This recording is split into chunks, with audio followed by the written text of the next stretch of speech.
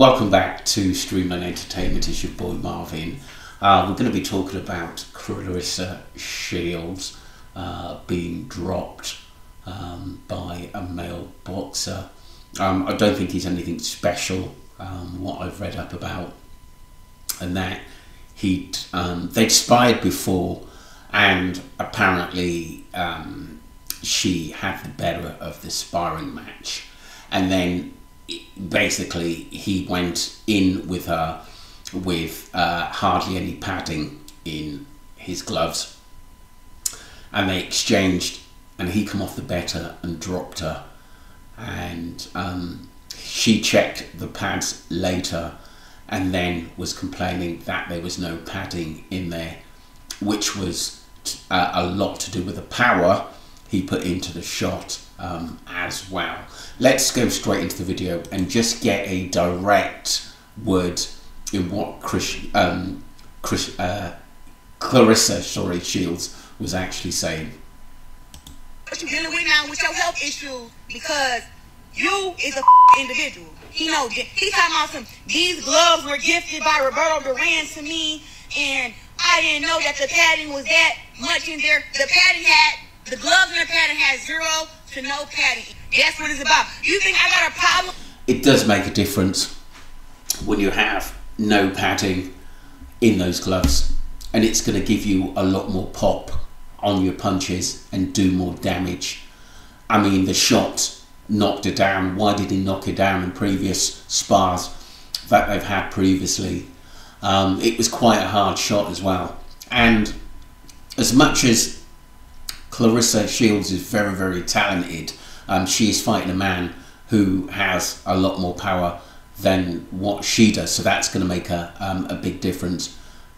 Yes, she's been dropped before, but I think she was quite peed off about it as um, it was all over the internet that she got dropped and she said that she wanted to fight someone like Keith Thurman, which Keith Thurman we know would absolutely destroy her because Keith Thurman is still a pretty, even though he's a little bit older, he's still a reasonably elite fighter. That's a joke. And he ripped that off kind of quickly, but he, he didn't mind an exhibitional spar match with her. And that's a gentleman saying that, to be honest with you. When we get in drop, it's boxing. It happens. I done been hit hard. I done seen stars. I done hit like where where I uh, where I couldn't eat for three days, sparring against heavyweight coming up when I was 17. I don't give a f- about being dropped, but what I will say is when a try to cheat me, you got me up.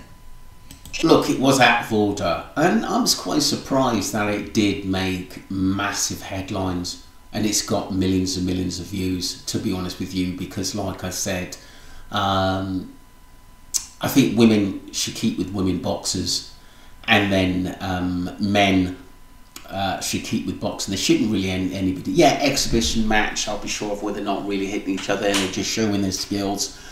Um, that would be good, but to actually go out and say, "Look, I want to fight a man, a professional boxer who's got maybe twice as much power," especially when you come into professional boxers, that can really do some damage. That's just absolutely silly.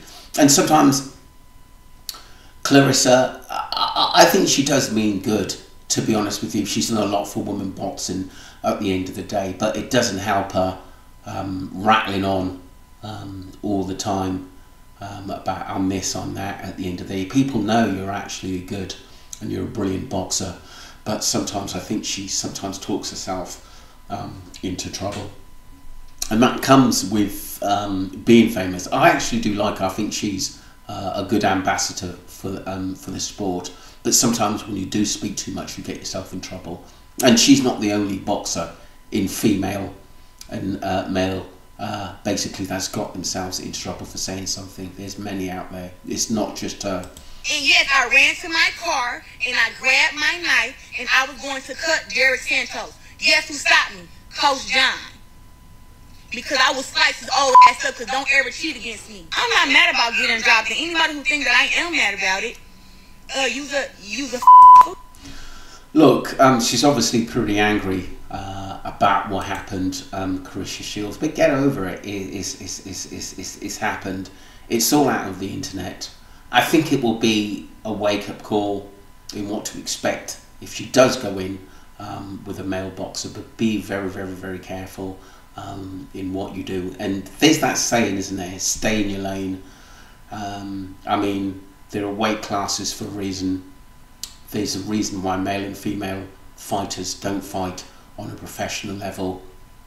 Yes, we can have exhibitions where it's skill and not heavy shots being exchanged at the end of the day because that shot um, could have done a lot of damage to Claressa Shields if it was any harder or, or hit the wrong spot.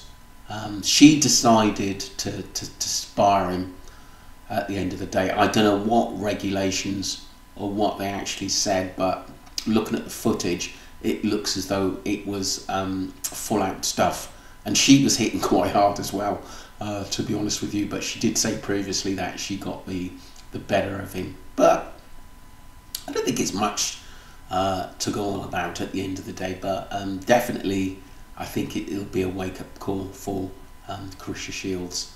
Um, I know that um, she's interested in fighting Baumgardner next, which will probably be good fight. I think she's probably got Claressa Shields has got too many tools for Baumgardner, although it would be a good scrap. Don't forget to subscribe to um, Streamline Entertainment and let me know what you think of the footage.